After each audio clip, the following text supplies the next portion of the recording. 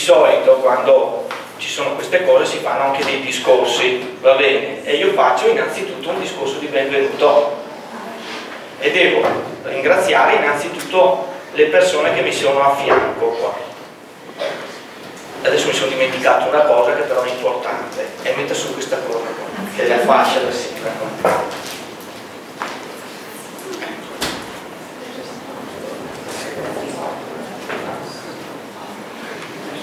Allora, qui ci sono tre persone accanto a me, io ho visto che mi conoscete e allora va bene così. Ho il dottor Lione che è il viceprefetto, voi non sapete probabilmente cos'è la prefettura, ma sapete cos'è una provincia, che è la provincia di Vicenza. Ecco, la provincia di Vicenza ha un ufficio un, importante che, lo, che rappresenta lo Stato nel nostro territorio e lo Stato è rappresentato proprio dal prefetto. Allora abbiamo il viceprefetto che è il dottor Lione e che è una persona che tra l'altro ha già lavorato con noi e che ci ha dato una mano su alcune situazioni. Io sono proprio contento che sia venuto perché ci siamo sempre incontrati a Vicenza e rappresenta lo Stato perché come vedete io ho una fascia che non ha i colori di Sant'Orso, non ha il grigio e, e rosso che è quello della croce là sul, è una fascia tricolore perché è vero che io rappresento la comunità di Sant'Orso, giusto? Il sindaco di Sant'Orso, però è all'interno di una comunità più ampia che è la comunità nazionale, che è l'Italia. E allora tutti i sindaci italiani non hanno il colore del loro paese o della loro città, ma hanno il colore dell'Italia perché noi facciamo parte di un contesto molto più grande che la nostra nazione. Ed è con onore che noi qui abbiamo i rappresentanti in un certo senso. No, non in un certo senso abbiamo il rappresentante del governo italiano. E allora intanto ringraziamo il dottor Lione poi dobbiamo ringraziare il vostro dirigente.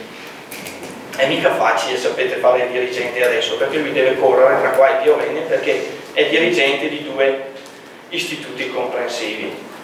Vi garantisco però che è una persona preziosa, voi in un certo senso lo vedete magari lontano come quello che comanda, ma è una persona preziosa perché queste cose si fanno perché il dirigente e i vostri insegnanti ci credono.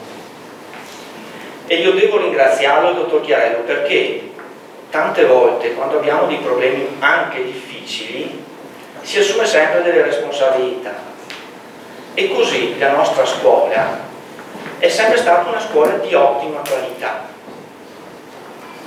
Infine dobbiamo ringraziare Mattia Piazza che oggi per l'ultima volta mette sulla fascia, magari la metterà fra qualche anno se, se, se deciderà di fare che ne so, questo servizio che faccio io. No? Quindi ringraziamo anche Mattia che per due anni è stato eh, sindaco del consiglio comunale dei ragazzi. Poi vedete delle persone qua attorno, no? Allora, qui ci sono delle persone che fanno da adulti quelli che alcuni di voi faranno adesso, e cioè ci sono i consiglieri comunali, ci sono gli assessori che sono anche consiglieri comunali, e là in fondo quei quattro, quelle quattro persone là, no? Ecco, quelli sono i dirigenti del nostro comune, quelli che guidano i vari uffici per dire se si rompe una finestra a scuola deve venire l'unico maschio che è Fabio Saperini mentre se c'è da decidere eh, sulla mensa cosa fare invece è l'ultima femmina che è la dottoressa Sperotto. Ecco, tanto per spiegarvi che questa è una realtà complessa ma che ha nella figura del sindaco e dei consiglieri comunali le persone elette dai nostri concittadini che ci dicono va bene, va bene, voi dovete guidare il paese. Il secondo aspetto della fascia è un altro. La fascia non è una cosa personale, non è una cosa personale. Io non è che alla domenica metto su la fascia e vado a spasso per il paese così dico ecco che passa il sindaco. No, è un segno di servizio, un segno di rappresentanza, tanto che qualche volta lo mettono su anche gli altri in rappresentanza della nostra comunità. È chiaro che quando si fanno le campagne elettorali ognuno corre per vincere, però fatta la campagna elettorale e deciso tutti insieme chi è il rappresentante di tutti, tutti insieme ci si aiuta per guidare il paese, mantenendo anche le proprie idee, ma tutti insieme. È quello che farete voi, dopo scopriremo chi è stato eletto, o coloro che sono stati eletti, perché le cose poi si fanno insieme. Una volta deciso la forza della democrazia è quella che si faranno comunque le cose insieme perché c'è un rappresentante di tutti che va rispettato ma questo non lo fa per sé ma lo deve fare al servizio di tutti quanti. Questo è lo spirito di questa avventura che avete iniziato. Ringrazio assolutamente gli insegnanti, perché credo che prese dai loro programmi, dalle loro attività, hanno sempre dedicato eh, grande sforzo per guidarvi in questo processo.